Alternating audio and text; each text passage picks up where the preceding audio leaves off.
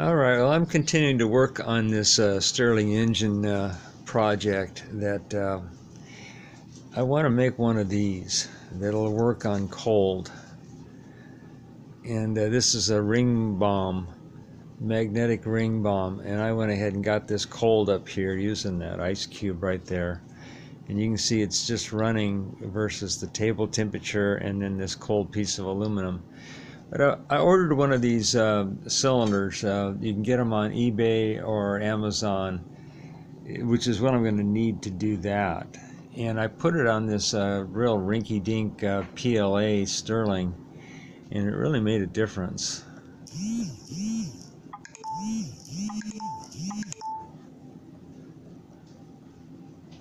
You see how this is flexing here? When I do this design for the Ringbom, that's got to be rigid. You can see how much better this thing is running with that cylinder. That thing right there made a real big difference. And it, um, it was this before, it was this diaphragm cylinder thing here.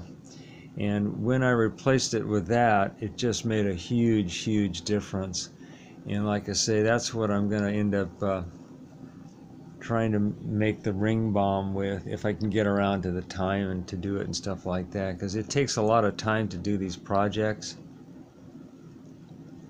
but another thing that I really um, like is using this candle warmer for this uh, you know it's way down there at about 135 degrees so you're not gonna you're not to hurt anything with it. You're not to hurt the machine. You, you might get slightly burned off it, but it's not bad.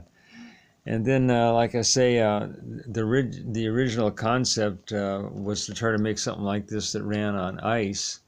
And um, that's what this thing here does. It runs on the cold. You hear it speed up when I put the ice on it.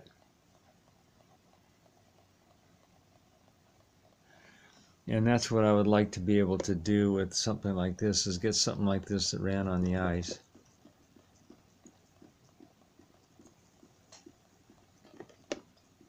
kind of a hard project but that cylinder right there made a big difference that's glass with a glass uh, piston and the first one that I ordered I dropped it on the ground and broke it so you got to be really, really careful. Then I got the second one and I dropped it on the ground and broke the other part of it. So between the two of them, I got one cylinder that works. But uh, this uh, really made a big difference. I've just got stuck on there with uh, double-sided sticky tape and some tape. The, the displacer um, is this uh, foam sponge with that part facing up. Acts like a regenerator. The uh, spacer in here is PLA printed. Uh, it's a, a, uh, Christmas cookie tin, and then these other parts are PLA.